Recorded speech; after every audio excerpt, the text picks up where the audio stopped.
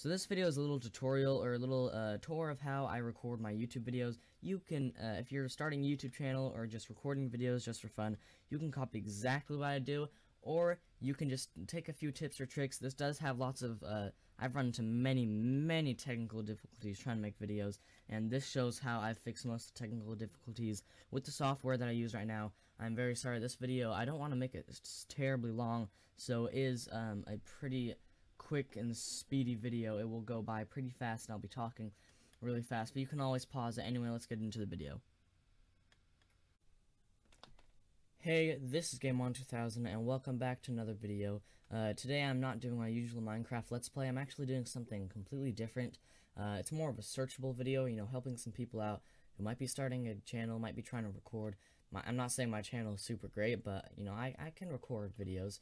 Um, but anyway, so basically, I'm going to be sharing everything that I do to record my videos and some problems that I've encountered along the way and how I fix them. So let's start just minimizing all this stuff right here. So uh, on the home screen, I downloaded it, Streamlabs OBS. That is what I use to record. There's a link to that in the description. So what you gotta do when you have this, depending on, uh, I believe it's if you have a laptop or whatever, then sometimes you'll have to right click it uh, do run with graphics processor and integrated graphics. You click that and it opens it up and that makes it so that uh, you can see your screen. But before you see your screen uh, though there should be nothing right here. Um, and so you're gonna do this plus sign right here and you're gonna do the display capture um, display capture. You're gonna add source all that stuff. Should be pretty simple. I guess you can also do game capture but I haven't really figured out how that works. I guess it would only capture the game that you're playing instead of your whole entire screen with all these things down here and everything. But I usually just play Minecraft uh, in full screen, that way it takes up my whole screen anyway, so I just have to do the display capture. And also, uh, so that is what I use to record the screen, but I need audio as well, right? So what I use for audio, I have a, what is it, Tonor Q9, something like that. Some sort of microphone. I got it off of Amazon, $50. Um, it's what you're hearing right now.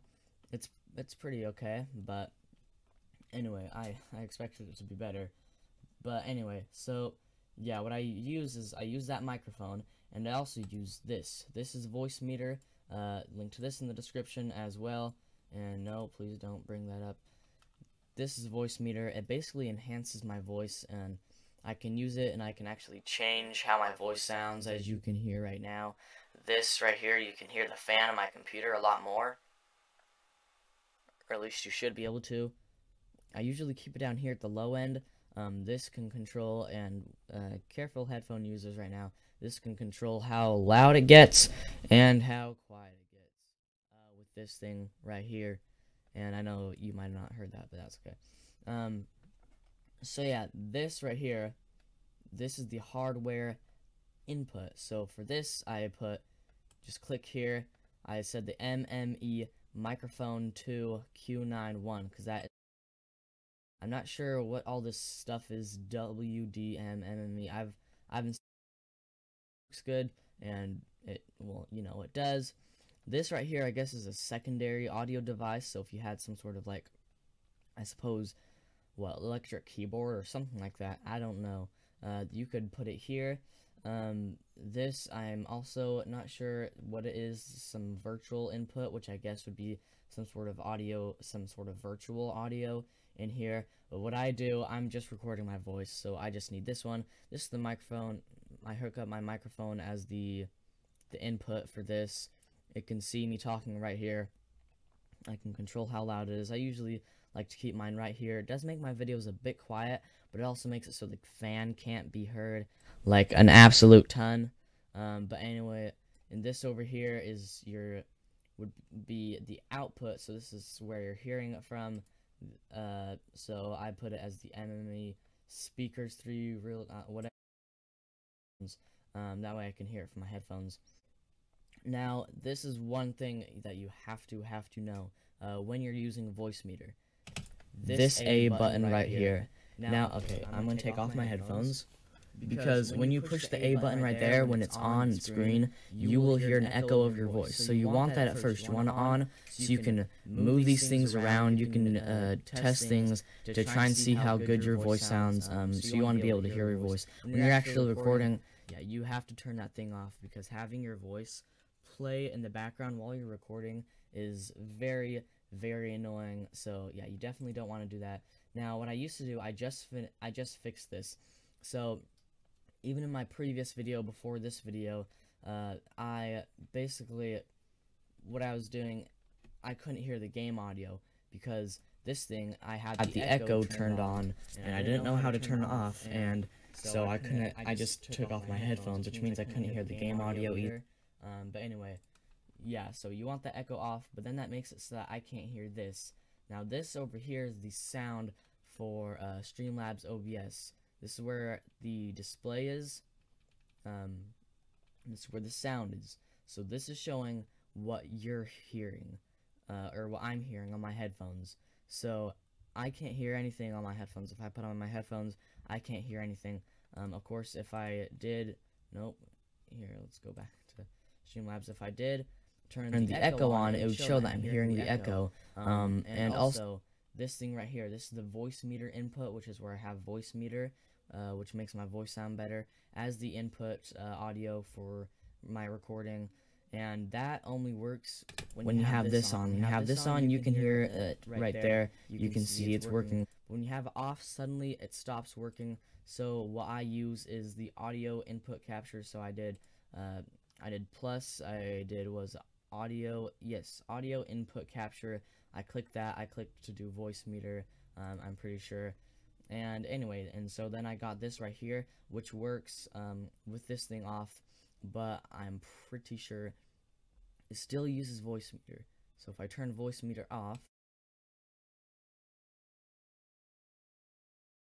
So as you could see there, I turned Voicemeeter off um, and it stopped hearing audio. So it is hooked up vo to Voicemeeter, so it, it, should be making my audio sound better. Um, but it also works when the echo is turned off Voicemeeter, which is great. So I have the display capture. That is what I use to capture the screen. And I have this sound thing right here. And you just hit record, which is right here, and it will start recording. Um, and then I just go into Minecraft I play. You have to play full screen on if you're doing the display capture. There's also the option of game capture, which is right here, um, which I guess would just capture the game. I'm not exactly sure how to do that, so I just use the display capture. I uh, it's better to play Minecraft on full screen anyways. So yeah, that's easiest for me. So I record the video, um, and once I'm done, I hit the record button to stop recording and then I go into the files right here and I go into captures. My captures file, this is a big old, uh, I'm so sorry for this pun. I literally did not mean it. Mumbo jumboed mess. Uh, but anyway, yeah, this is a big old mess here. A bunch of clips and stuff everywhere. Just kind of, I mean, it doesn't, I don't really use this file a ton. This is where, so I have the captures here. Then I open up this, go to voice editor, no, not voice editor, uh, video editor is what it should be called. And what I do is I would start a new video project. This is to edit the video once I've already recorded it. Now I want to edit it. Um, I'm just going to name it, I don't know, just a bunch of random stuff. So you name the video whatever you want. Then I would go here, add from this PC. Obviously, I'd go, yep, in captures add the video, and uh, we have to wait for a little bit here as it's adding the files. And once it adds the files, what I would do is I bring it down here, I click trim, uh, and I trim so that's only the parts that I want. It's only like the beginning scene or whatever, um, just like that, because this scene I'm talking to the camera, and right here I'm not, and right here I'm not, so that'd be done right there. Then I grab the clip from here again, I click trim, and then I bring it over here to where the next scene starts, um, and trim it just like this until I've trimmed the whole entire thing. That is how you would edit the video, um, and why did I close it? That's very inconvenient. But, so yeah, basically I grab the clip, I put it down uh, a bunch of different times and I trim it all down into its little itty bitty pieces. It can take a very long time and once I'm done I hit finish video uh, and yeah I hit finish video and it saves to my file that I have which is should be in quick access. This computer isn't quite like my old computer. Uh, final videos this is where it saves to. Uh, this is my final videos file. Uh, so it was saved to here. After I've fully edited it you can also in video editor I know it's the it's the free video editing app that comes with Windows, but it works for me. So far, it's done basically everything that I needed to do. So I haven't really had a need to get some fancy editing app, but you know, if you want to get a fancy editing app, go for it. There's filters, uh, you can change the speed, that's how I do my time lapses, time lapses, I don't know, uh, effects, motion, I, I often use this thing text right here, so I can add text, I usually like to use classic, and I just say hi. Uh, no, okay, I'm just gonna say hi. I just say hi right there, and at this little, uh, wherever I put it, right there. Uh, if I just play it right there, all throughout here, Thought it's I going to to say do. hi, just like that. So yeah, that's how you do that. So now we know. Use Streamlabs OBS, and you have to open it by right-clicking and doing the integrated graphics thing. I use display capture to capture the screen. I use the audio input capture uh, set with Voicemeeter to make my voice sound better uh, to record the audio. So now it's the screen and the audio. Uh, I use Minecraft to, well, you know, entertain. That's the whole video. And then when I'm done recording it all, the, uh, I re- usually record a big, long clip. Um, and then I hit stop recording, open it up in video editor, place it down a bunch of times, and trim it into its itty bitty little trimmed pieces. And that is how I make a video. And this video is actually not terribly long. It's only about 12 minutes long. That was a lot of me ranting. It was also pretty quick. Uh, but though that is how I record videos, that is how I do it. If you have any questions, be sure to put them in the comment section below. And if you did search this video, uh, before you go click off the video, I'm not quite done yet because I want to tell you that I do, I play Minecraft uh, videos.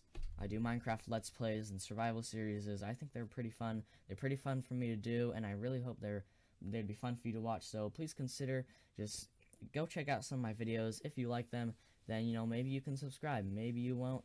That depends on what you're feeling. But anyway, thank you so much for watching. I really, really appreciate you watching. Uh, and hopefully I will see you in the next video. So see you then. And end.